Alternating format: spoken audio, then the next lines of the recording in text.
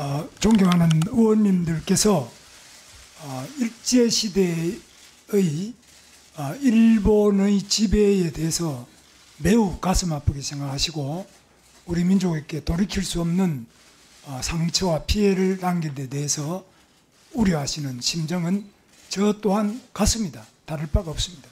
우리 민족의 자존심 그리고 우리 민족의 생존이 중대한 침해를 받았다는 점에서 어, 의원님들이나 뭐 저나 생각이 다를 바가 없습니다.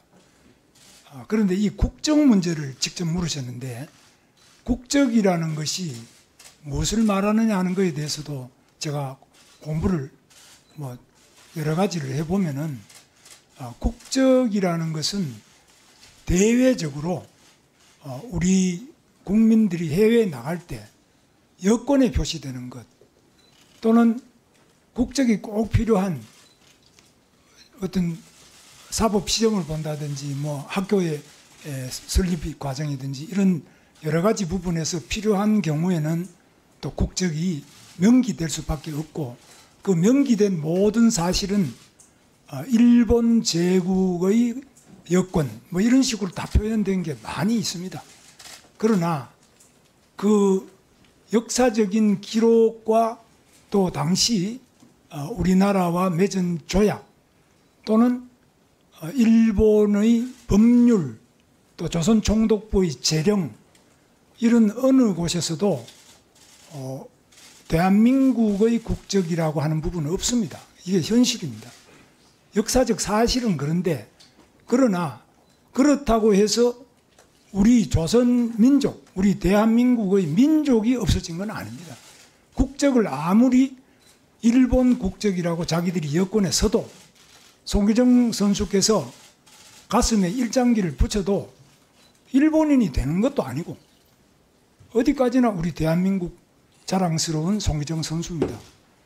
그러나 그 당시에 유니폼에 일장기가 붙었다. 그러니까 그 메달 딴 거는 일본 메달로 이렇게 기록이 되어 있습니다만 우리 민족의 가슴과 정신과 이 혼에 어떤 영향을 미치지 못하거나 또는 오히려 일본 제국주의 자, 장관님, 예. 그 발언을 조금 요약해서 예. 예, 간단하게 질문이 복잡한 질문은 아니거든요. 얘기 예, 좀 해주시죠. 요약하겠습니다. 그래서.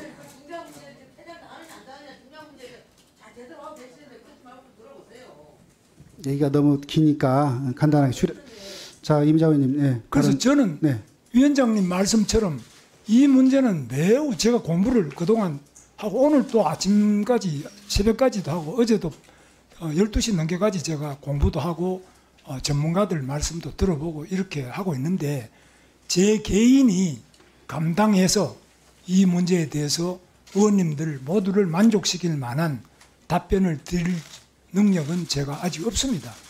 그래서 견해도 너무 다르고 또 사실관계가 어떠냐 하는 것을 뭐 여권을 당시 여권을 찾아본다든지 당신 당시의 법률, 법률이나 재령을 찾아본다든지 호적을 찾아 이렇게 해서 해결될 문제도 아니고요. 그 당시에 일본 제국의 지배 범위가 아, 대만의 경우도 있는데 또 그 다음에 사린 경우도 있고요. 우리 한반도도 있고 이런데 아, 우리나라만이 아니라 일본 제국주의가 침략을 해서 어, 자기들의 공, 그 군사력으로 지배하고 있던 곳은 모두 일본 국적을 강제한 겁니다.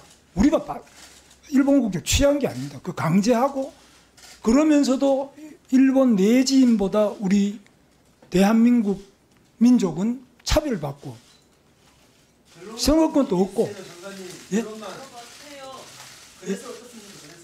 아 그래서 그런 그러니까 국적이라는 문제하고 이 민족이라는 문제하고도 다르다는 거죠.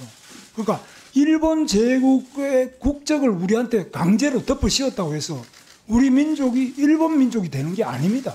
우리 대한민국 민족은 오히려 일본의 침략 때문에 더 우리가 독립운동을 하고 민족 정신이 더 강해지고 더 우리 한글을 사랑하고 하는 이런 많은 그 사례가 있고 또 박해받았던 우리 어, 주시경 선생이든지 뭐 송희정 우리 선수든지 많은 그 사례가 있지 않습니까? 그래서 일본이 국적을 우리 한반도에 강제하고 이렇다고 해서 우리 한민족 정신이 약해진다든지 그런 게 아니라 오히려 더 강해졌다. 독립운동도 더 강해졌다. 저는 그렇게 주 기록이 그렇게 되어 있습니다. 그러나 이 부분 가지고 이제 1965년 한일 기본조약 2조 이미 무효라고 하는 것에 대해서는 해석상의 차이도 있는데 이 부분에 대한 연구 논문도 제가 여러 편 읽어봤는데 일관되게 그 당시에도 양국 간의 합의는 못했고 다만 1945년 일제 폐망 이후에는 당연히 일본 국적은 끝나버린 거죠. 일본 국적이네요. 그러면 아니죠. 그 끝난 거죠. 맞잖아요. 끝나고 그 다음에 미군정이 왔습니다. 국적은 일본이고 민족은 자. 아니 자, 우리. 정혜경 의원님 그래서 네, 발언할 때는 예, 좀 그래서 예, 이 들어보시고 문제는 아 대신 우리 저 예, 장관님 위원장께서 자, 이제 시간을 짧게 좀 요약해서 예, 예, 요약하면은 요약해서 네, 간단하게 정리해서 말씀해. 주세요. 예, 그럼 요약을 하겠습니다. 요약을 하면은 이 문제는 매우 복잡한 문제입니다.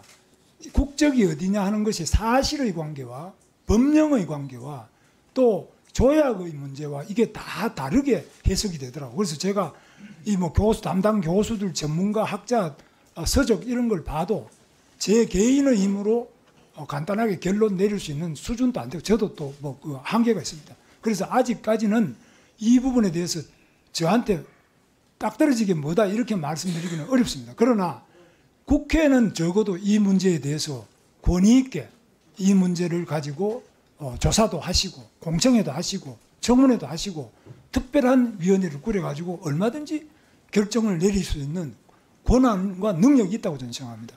그러나 제 개인 보고 이 어, 국정감사 앞이나 또는 뭐 인사청문회 할 때 짧은 시간에 단답으로 답해라 이렇게 하시면은 이게 답하기 굉장히 어려운 문제라고 저는 생각합니다. 그래서 다시 또 제가 말씀드리면 같은 일이 계속 반복될 우려가 있기 때문에 오늘 위원장과 어, 존경하는 의원님들께서 저 이 진정한 말씀에 대해서도 한번 고려해 주셔서 차후에 이 문제를 가지고 저 개인이 아니라 우리 대한민국 국회 차원에서 이 문제를 정리하는 아, 정말 진지한 입법부 차원의 노력과 조사와 또 연구와 그 어, 국민들과의 공청회 에, 이런 부분들을 진행해 주셔서 결론을 내려주시면 저는 그거 따르겠습니다.